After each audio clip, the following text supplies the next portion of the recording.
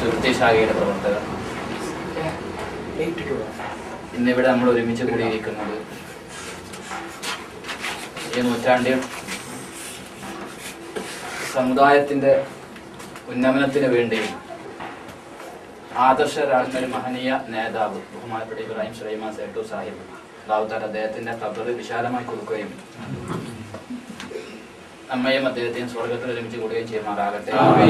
ഒക്കെയാണ് രൂപത്തിലുള്ള ചിന്താഗതികൾ ഉണ്ടാകും.